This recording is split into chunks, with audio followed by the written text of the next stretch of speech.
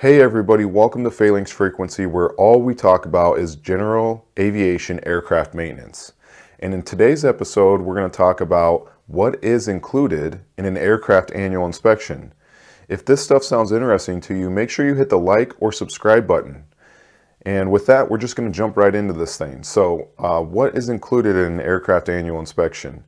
Uh, before we even go, I'm going to get my clipboard. It's got all my highlights for what we're going to talk about here. So um, just a short, very short background. Uh, been in the industry for 15 years, maintaining mostly piston aircraft, some corporate stuff. Uh, I'm with Phalanx Aviation, and we've we've done uh, business all across the country. So uh, that's our background. If you want to learn more about us, check out our website, phalanxaviation.com. We provide a lot of mobile aircraft maintenance support. So if you're looking for maintenance, go ahead and check us out. But let's go ahead and jump into this thing. So uh, what's included in an aircraft annual inspection? Um, first of all, uh, who's it applicable to? So uh, annuals are applicable to 91 operators, um, and that's the FAR that the airplane operates under. Most people who own a private airplane, whether it's a piston, a turboprop, a jet, and I'm not sure, I know that you can do annuals on jets or an annual inspection will meet the criteria for uh, inspecting a jet.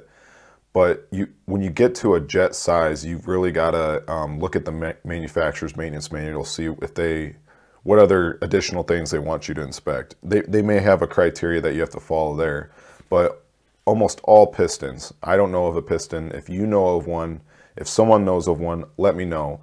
All pistons operating in 91, which is the majority of personal aircraft owners, um, use an annual inspection to comply with a yearly inspection the aircraft has to go through.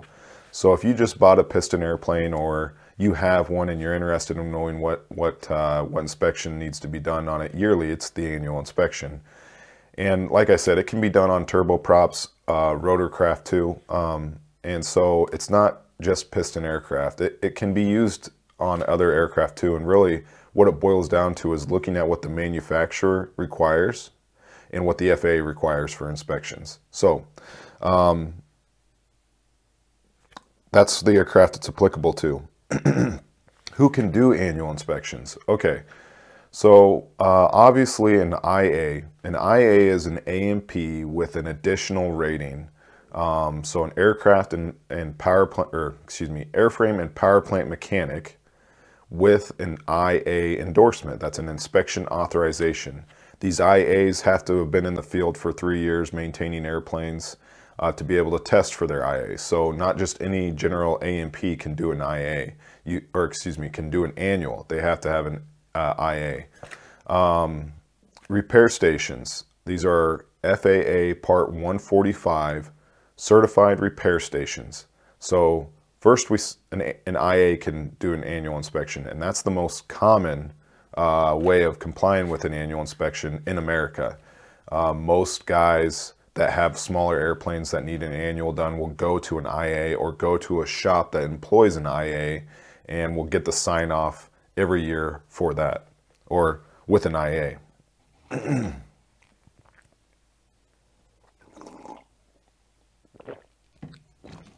um, excuse me. Uh, certified repair station. So option one, you can use an IA, a shop with an IA. Option two, uh, you can use a FAA CRS 145, FAA Certified Repair Station under Part 145. These are shops or entities that have qualified through the FAA to be able to um, inspect your aircraft and sign it off as a company under a, a repair station certificate. So they have to get a special rating saying that they can do or license saying that they can sign off annual inspections for whatever type of aircraft you have. A little less common in America, but they are out there and they there are repair stations that uh, can sign off annual inspections, but um, they're not as common as the IA. So you can, you know, they, and they're not as public. You know, if you were to Google uh, annual inspection certified repair station, I'm willing to bet you're not going to get a lot of clear answers. You're going to have to like ask the shop, hey, are you a, certified repair station part 145? do you guys sign off annuals under that repair station? That would be the question to ask to find out very clearly if they do or don't. Because um, just because they're a repair station doesn't mean they can do the annual. There's a lot of different ratings and limitations of a repair station. So some can work on radio, some can work on engines, some can work on avionics, some can do inspections, some can only do it on some aircraft. So like the 145 is a FAA guided, uh, it's more strict, the, the rules and regulations are. So therefore, they have to, um, it's not as common to be signing off annuals under a 145 repair station, but it's, it, it's out there. So you can use an IA, you can use a shop that has a 145 that can uh, sign off annuals under the 145. And lastly, the manufacturer. The person who made the plane can sign off the annual. So Mooney Aircraft can, if you took their, uh, I think down in Texas, I don't even know if they're, as of right now, Mooney's been, um, one minute they're open, one minute they're closed, you know, their company. And lately I heard they were starting back up for some training aircraft, but I heard they're into trouble again. And, and they, I don't know if they're operating now, but long story short, let's say you have a Beechcraft and you want to go to Wichita to the manufacturing facility there to get your annual signed off. Uh, you can do that. Uh, it's completely legal. Uh, you can get it, and it's arguably probably one of, if the, you know, I've never had that done. I don't, I, I think I've known of one aircraft owner who I think they went to Aviat to get their, they had a Husky, uh, a tube and fabric airplane, and they got the annual done at, at the manufacturer's facility. But I don't know of anybody else, so it's not very common to do that either. I don't know if it's because the manufacturers like Beechcraft, Cessna, Piper, Cirrus are so busy working on production of airplanes that they don't do inspections. I don't know. But it, it, in the FARs, it says the manufacturer can sign off the annual too. So um, if you guys know of, if you guys know of your manufacturer, if you own an airplane and you have a manufacturer out there that will do annuals and you've gotten an annual done with the manufacturer, let us know because uh, that's something I don't know. So it'd be interesting for me to know that so I can pass that knowledge along. But um, so let me check here where we're at. Uh, who can do uh, annual inspections? IAs, A&Ps with an IA license, certified repair stations, 145 with the proper uh, authority to do so, and then the manufacturer. That's it. That's what you're going to get. So if you need an annual, you need to hit up those one of those three facilities.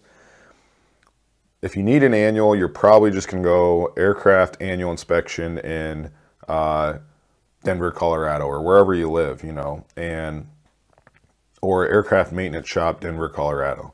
And you're going to pull up whoever it is. And that's typically how most guys procure their maintenance. And right now, it's 2022 there's a shortage of shops. So, um, you know, it's, it's tough to get maintenance out there. Of course, you can use Phalanx. We have 130 mechanics now and growing across the nation in our roster. And um, some of these guys work under us. Some of these guys work independently. Uh, but the, the thing is we have the resource, we have a, a large pool of mechanics that if you're looking for an, an annual inspection, give us a shout. You know, we've got plenty of IAs and we match you with a guy that, like if you got a piston aircraft, we do our best to try to match you with a guy who's got that experience, you know. And at the end of the day, you know, if we can't find someone for you, you just simply decline. But a great resource you should check out. You know, uh, to my knowledge, we have one of the largest um, groupings of piston aircraft mechanics in the nation. So, uh, let's see.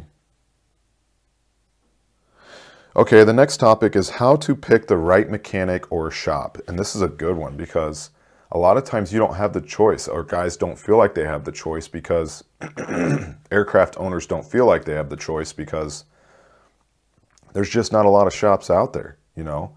Um, it's not, I used to know all the numbers of shops and stuff, but uh, every, you know, the requests we get, the most common request we get through our company is, hey, the shops are backed up I need help with this, I need help with that, or I'm in an area where there is no shop close, so I want to get a mobile mechanic to come in and do the work. And so I hear that all the time, and that's why we we're, we are a successful company is because the lack of shops, really. Um, and I don't know if that's going to get better or worse, but you may not be able to choose. Uh, well, let me back that up. You always have the choice. You always have the choice to choose who works on your airplane. The question is, how convenient is it to go to the person you want to go to? In the case of mobile, you find a good mobile mechanic, heck, you know, they come right to you. So it doesn't get any more convenient than that. But in the case of like, if you're going to go to a shop, then, um, you know, if you're trying to keep it close, when we, when I operated physical shops in physical locations, um, we always had a crew car. Excuse me. And that the reason why is because we had a lot of guys come from off. The, we we were at smaller airports. A couple of our locations were, and in order to get these guys, we had to make it easy for them. We understood that, and we wanted their business, so we had a dedicated car that we would just give these guys um, that they could use while they're kind of like you know, your if your car's in the shop and you need a rental, that's what we did. If you're if you came to us and um, you need maintenance, you just knew that you could just go to the crew car, start it up, and drive home. So that extended our range. You know, we get guys that would do from an hour out from our airport drive time. So we had a lot of the satellite airports around us that guys would, you know, it's not a big deal to fly your plane down, spend it's two, three hours, fly the plane down, take the car, go back home, right?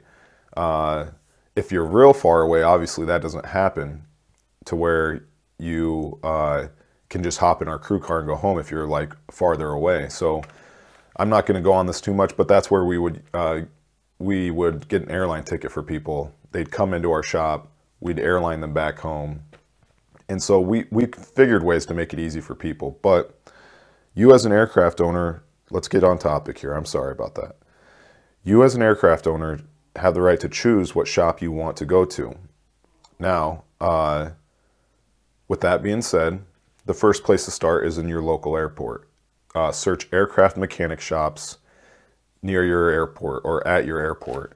Um, choosing the right one's is important because you want to start, well, let's back it up. You want to start local and then branch out. My suggestion is you get a VFR map. There's a VFRmap.com. That's what I use all the time, but you can use a paper one too or ForeFlight. And uh, you look up the airports closest to you. You write them down.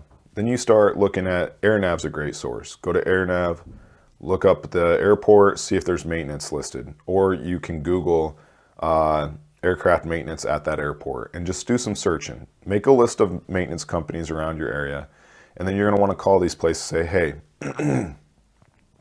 uh, I'm going to, by the way, I'll develop a uh, questionnaire to qualify a shop for your aircraft. So look out for that. Go to phalanxaviation.com um, we'll go ahead and make a checklist for you so that these are the questions you want to ask. We'll briefly cover them, but I may miss some stuff. So that's why afterwards I want to make sure that I get you a checklist that you can get for free at phalanxaviation.com. But uh, the questions you want to ask are, you know, depending on what you, you don't want to take your piston aircraft to a jet shop unless you want to pay a lot and not get a lot. In, in general, you want to take your plane to a shop where they always work on that plane Makes sense, right? So one of the questions to ask the shop is if you have a piston aircraft is, hey, you know, I've got a Beech, but you just, here's what you'd say. I got a Beech Bonanza and um, I'm looking to get an annual inspection done. Is that the type of work you guys do? You know, how many annuals do you do on Beech Bonanzas? How many annuals does your shop do? You know, has the IA who will sign my annual off worked on a Beechcraft Bonanza before? Has he signed an annual off on a Beechcraft Bonanza? If they can't, if they say no, or it's a cloudy answer, then you know you can still get it done there. I'm not saying you can't, but I would prefer to go to a shop that has the experience. Um, they're going to know what points to look at. You know, it's not going to be a learning experience for the shop. They're not going to learn on your plane. They're going to know what to look at. So first, find a shop that's got some work experience on doing annual inspections for your type of aircraft.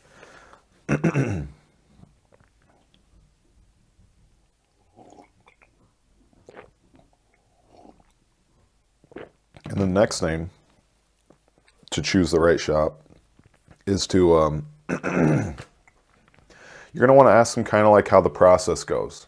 Uh, there's a typical flow to annual inspections, but you, when the question that I would ask is, what do you guys use to inspect the aircraft? What criteria, what checklist do you guys use? You know, um, we'll go into the next topic of uh, requirements of an aircraft inspection. So this will bleed into that a little bit, but you want to ask the shop, hey, give me, you know, how's it work when I take my plane to you for an annual inspection? Uh, a good shop, in my opinion, will go ahead and inspect the aircraft in accordance with their custom-made checklist their, or um, the manufacturer's checklist, right? Uh, at a minimum, they can inspect the aircraft in accordance with uh, uh, FAR 43 Appendix D. They're able to do that, but the whole thing is is that that's pretty vague. So that's the bare minimum requirement. But uh, in my opinion, that you should be asking them, hey, what do you use to inspect aircraft for annual inspections, right? And if, um, you know, like I said, go to a shop that fits you. If you don't want to spend a lot of money on your annual inspection, be prepared to go to a shop that's not going to look at your plane. And if that's something you want to do, that's fine. There's no, but you know, it's one of those things where it's like it's an airplane for crying out loud, you know. And and as a maintainer, I look at it as uh, if you value life, uh, then you want to kind of do your research with this. It's it's uh, an, a topic that a lot of people take for granted. And in aviation, a lot of times you only get one shot, you know. And, and if you mess up, then it's the last mess up you're going to do. So I prefer that people take their aircraft. I'm not saying you have to spend uh, $20,000 on a piston annual, but like if you take it to $500 Bobby Joe and he barely looks at your airplane, eventually it's going to catch up to you uh, in some way. Uh, may not be a crash. It could be uh, you take it to a real shop and they go, hey man, we need to really fix some stuff on this. And that happened all the time with us. We would get planes that had uh, $500 T-hangar annuals and then uh, they'd come to us and we would be amazed that the plane hadn't been maintained appropriately. And um, so the bill was a little higher and they didn't like that. Some people didn't. Some people appreciated it. But um, back on topic here, uh, ask what inspection criteria they use. Um, the flow is typically, you know, a pre-run up is a good thing that the shops, some shops will do it, some won't. I know there's and before we even go, there's a lot of technicalities here. All right, this this show's basically telling you the truth. You know, this is what we've seen out in the field. This is what uh, we. I know there's FARs. I know there's regulations. I know that there's uh, things to follow by, and we follow that, and everybody should follow that. Uh, but there's a lot of stuff that happens that people don't know about, and one of them is running the plane up, right? So you want to run the plane up before you dump the oil before you do a compression check, stuff like that. Some shops will do it, some shops don't. Um, you know, it's you're supposed to do it. You're supposed to do the run up. So the best thing to do is to a shop's flow will be run the airplane up, do some checks on. Obviously, it's kind of like doing uh, if if we're if we're I'm going to kind of speak to piston a little bit here, but for a piston aircraft, you're going to do they're going to do basically what you would do for a pre-flight or excuse me a pre-engine run or takeoff run up. It'd be like check the mag cycle the prop check all the engine gauges. Um, and that's the pre-run procedure right? Get the oil warmed up a little bit as much as it can on the ground and just the mechanics looking at it. They're seeing what's what's going on with the plane mechanically. And uh, but let's back it up. Uh, before you even take your plane to the shop a good shop will ask you what squawks you have right hey, what squawks do you have? They'll write them down, they'll record them, um, and uh, of course they'll consult with you before doing any additional work. But so get the squawks, then they'll run the plane up. Okay, after the plane's ran up, then they they open a work order for the plane. Obviously, these are shops that I believe to be the ones you should go to. You know, if you got Bobby Joe that just kind of memorizes everything, doesn't have work orders, doesn't, then I got to ask you a question. You know, if you're going to go into the airlines or a bigger operation, or let's say even Piston, do you use checklist? You know, the more complex something gets, uh, a checklist is there to help you make sure you you do everything. So same with inspections. There's a lot to do on an aircraft inspection, even with the simplest airplanes. There's a lot of components and things that can go wrong, so an annual is a good time to find out how everything's doing. And if a guy's not using a checklist, there you go. I mean, you're going to leave it up to his memory to inspect your plane. This is all my opinion. So, um, they get the squawks from you, they do the run up, and then uh, they bring the plane in. They uh, open the cowl, they open the plane up. You know, this is kind of speaking to how we do it, but I've seen this. This is kind of the flow at most shops. They'll open the whole plane up, so they'll dump the cowl. A lot of guys will get the oil going right away because it's warm. They'll take the cowl off, open the panels up, and then they follow the checklist. You know, there's a main whatever checklist they have, they'll follow it. And um, for us, we would put a guy on the engine, we'd put a guy on the airframe, or if one guy was doing it, he would start at the end. He could start really wherever he wanted, but logically, we work uh, spinner tip to tail on an annual. So we'll start in the engine compartment. We'll do all the normal servicing. So, excuse me, I'm a little congested. Oil change, uh, fuel strainer inspection, uh, compressions, mag timing check, um, ELT battery. We do a lot of the, our checklist will get the servicing on the aircraft done. And by the way, you don't have to do these things. You know, an annual inspection doesn't say you have to change the oil.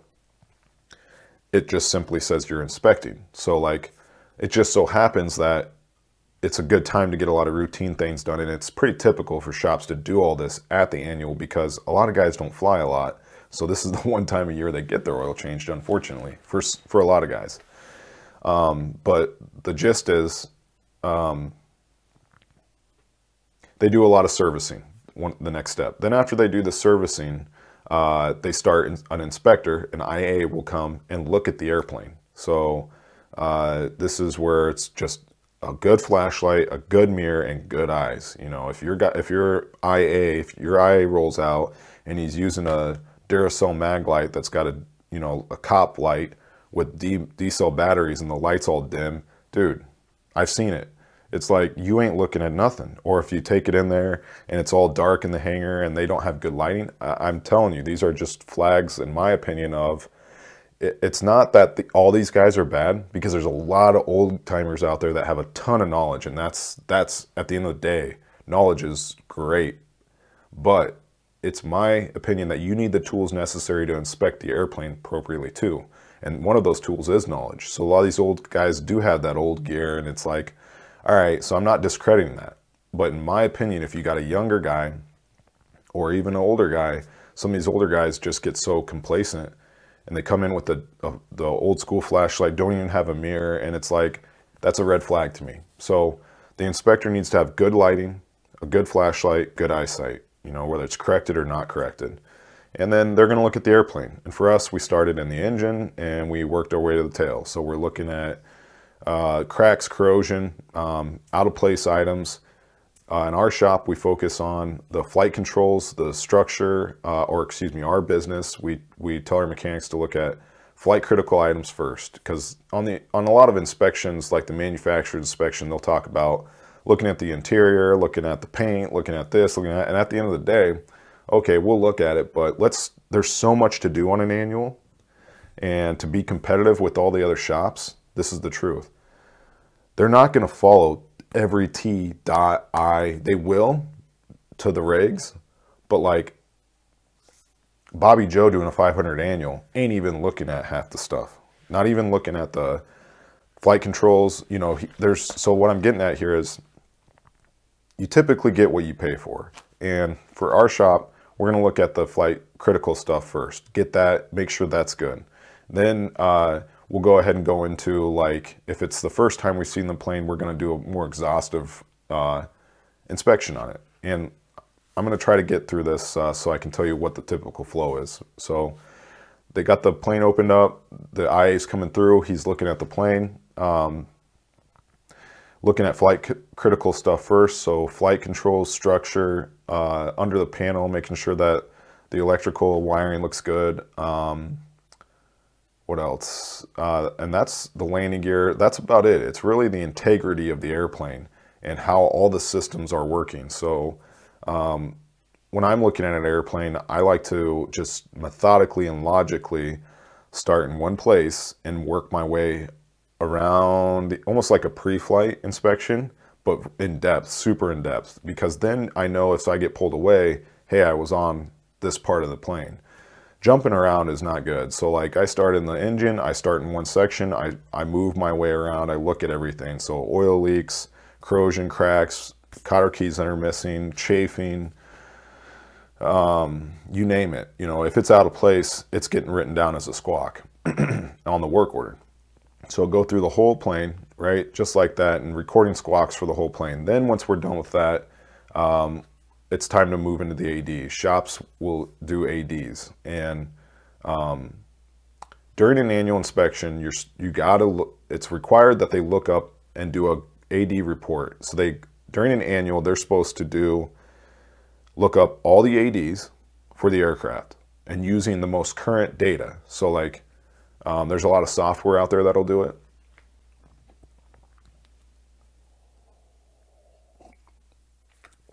The FAA website, some guys say, hey, I use the FAA website. Go to the, I, I encourage you to go to the FAA website and try to look up ADs. It's a mess because I, I don't know what the FAA is doing over there. I, I literally don't. anytime you try to call them, nobody's there. So it's the same story. But in my opinion, the FAA is the worst place to look up ADs because the organization and the confusion involved with it is just like, what is going on here?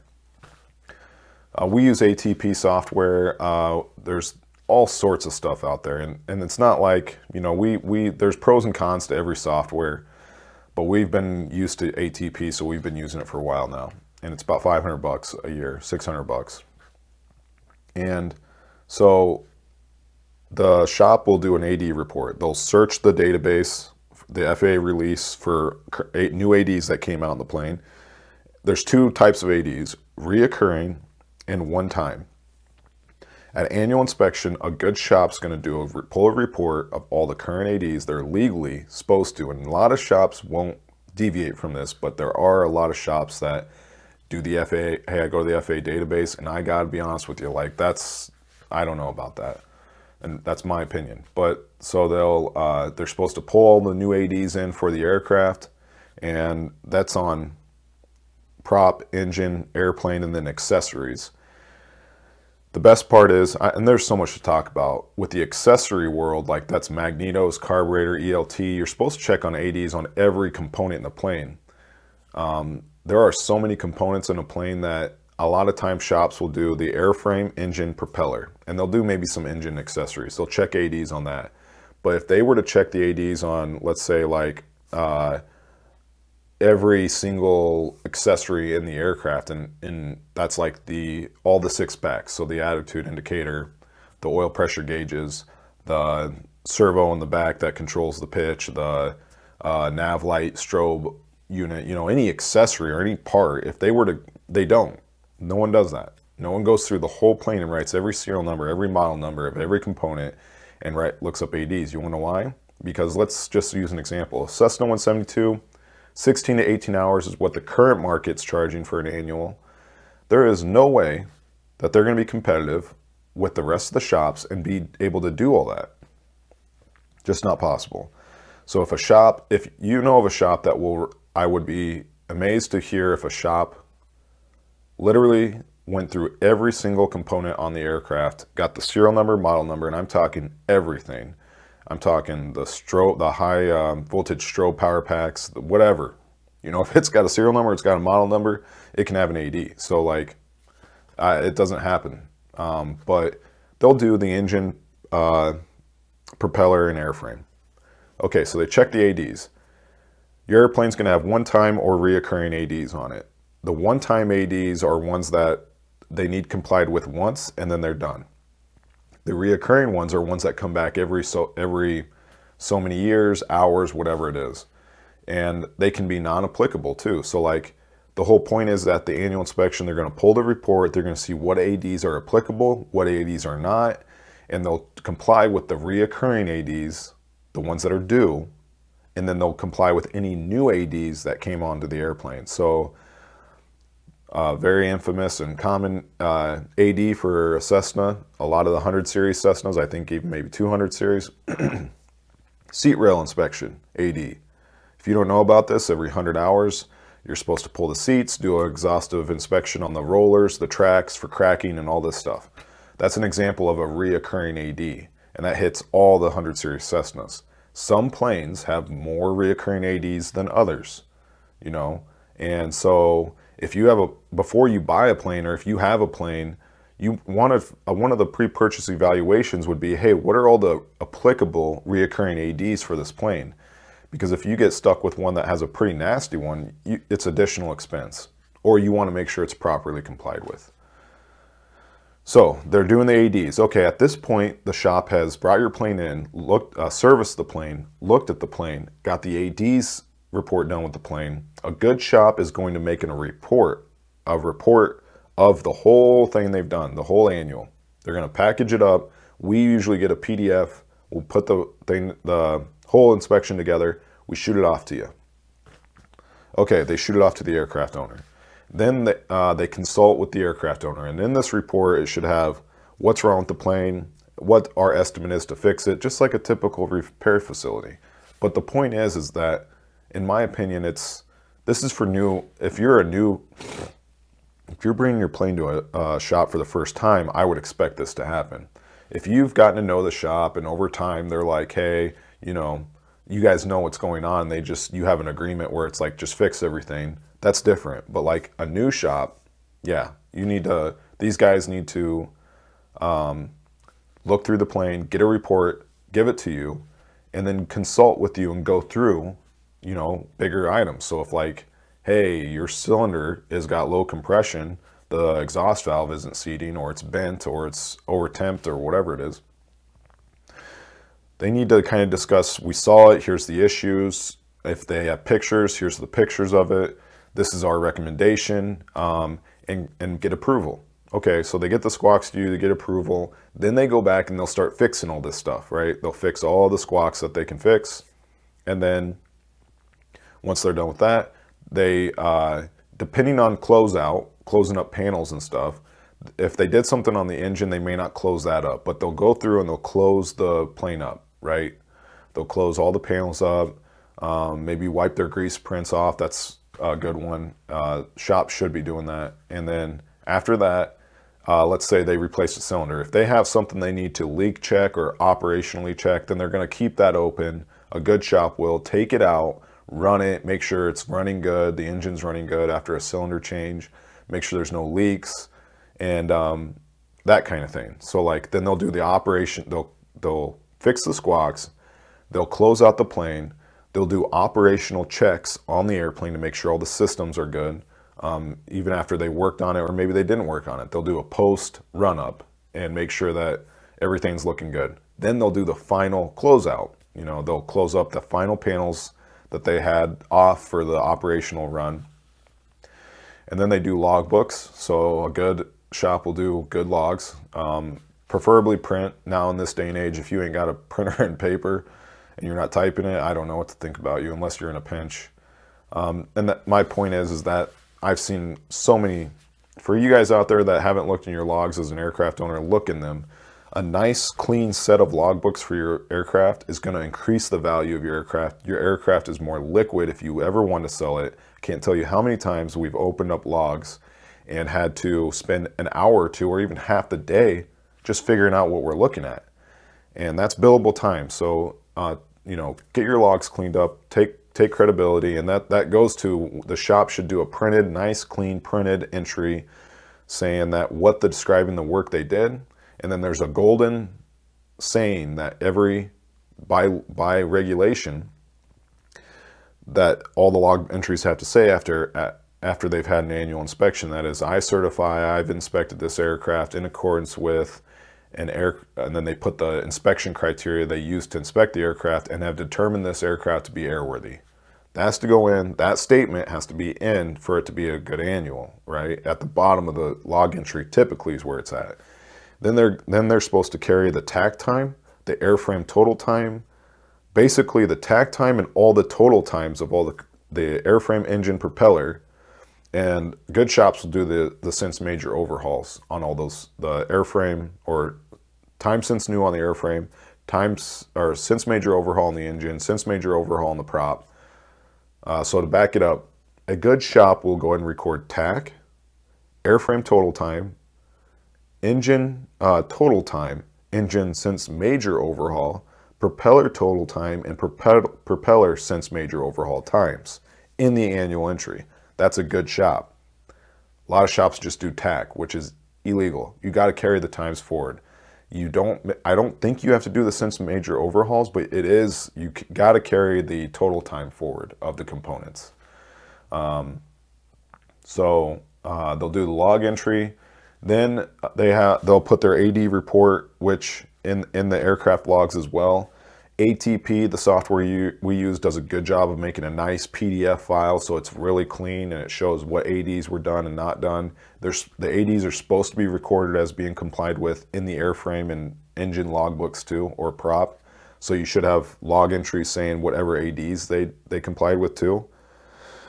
But um, be, be on the lookout for an AD report too. A good shop will give you a nice clean AD report or they may put it in their logs, but like you want to one of the things is like, hey, did you guys do an AD report, right?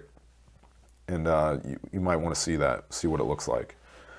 So um, i kind of went off on that one a little bit because there's a lot of subject to cover on an annual inspection, and I, I brushed the surface on a lot of things, but from start to finish, there you go. Uh, and then they invoice you, obviously call you, and a good shop will discuss the final, hey, yeah, we got the annual done we put the cylinder on, it worked great, you know, and they'll they'll tell you a tip or you know they might say run mineral oil uh, for the first 50 hours. They discuss things with you after the maintenance. A good shop will kind of go through, hey, what happened? What we do? This is what's fixed to keep you in tune with your airplane. Even if you're not a mechanical guy, I think it's valid. It's it's good to know the machine you're flying. So you want get a little uh, post annual inspection briefing from your shop. Okay, we talked, the good thing about me going through all that is that we talked about a lot of the topics on here. So in an annual inspection, they're going to follow an inspection checklist. They're, they have to check the ADs and comply with any ADs that are applicable. Airworthiness directives, by the way, for those of you that don't know what an AD is. It's kind of like uh, something the FAA publishes and the manufacturers put out that's, that addresses an issue or concern on the airplane. That's what an AD is. Not necessarily a recall, sometimes it can be looked at like that, but it's basically we've seen something in the field, it's a, it's a concern to us, so we're issuing an AD on that type of airplane to have shops and maintenance people make sure that it's okay. You know, that's what an AD is. Squawk list, we talked about that. Make sure the shop puts a squawk list together, kind of sends it to you at minimum and says, here's what we're doing, here's what we're fixed. At least get even if it's not verbal, just like an email and then the, an email back, you can email them back, say, hey, it looks good. Make sure the shop does that because I believe, and this is my opinion, you know, um, I believe a shop should do that. I don't think they should just have the free will to work on your plane and charge you whatever they want. Um, unless, unless you know them, unless, like I said, if you have a relationship with them and, and you've done three, four annuals with them and every time the bill's the same or roughly the same and you don't care, that's different. But and then only have them call you if there's something really extreme. But for the first time, for sure, get a make sure the shop gets you kind of a report or calls you and goes through the squawks. Uh, good shop will do customer approval. Basically, like I said, unless it's something super small, like putting anti-chafe on a on a oil line to prevent it from chafing, something that's not a lot of labor, they should be getting approval from you for it, you know. And um, so there's some things on an annual inspection, and uh, I think I covered a lot of it. We may talk about more ins annual inspection stuff later, but if you, as an aircraft owner or someone who gets annual inspections done, has a question for us, drop us a comment down below in the in the YouTube um, feed there, and we'll I will answer it. One of our staff members will answer it. Someone will answer it. We'd love to hear from you because that's this channel is uh, designed to kind of help out uh, guys getting their plane maintained. And um, so we'd like to hear from you. If you have a question or a comment about the show, drop us a line. And Uh, if you are looking to get an annual inspection done, consider Phalanx Aviation. We're um, got a lot of mechanics, got a lot of knowledge, got a lot of resources, and if we can't help you, then we'll do our best to find someone who can, and at no cost. So um, I think that's going to wrap this show up. Like I said, if you enjoy it, if if you think that you're interested in maintaining your airplane or need some more info on uh, just how to maintain your airplane, hit the like or subscribe button because that's all we're going to talk about on this channel is uh, how uh, aircraft owners and operators can uh, be better educated about maintaining their aircraft. So with that being said, I'd like to just say thanks for showing up and we'll see you next time on Phalanx Frequency.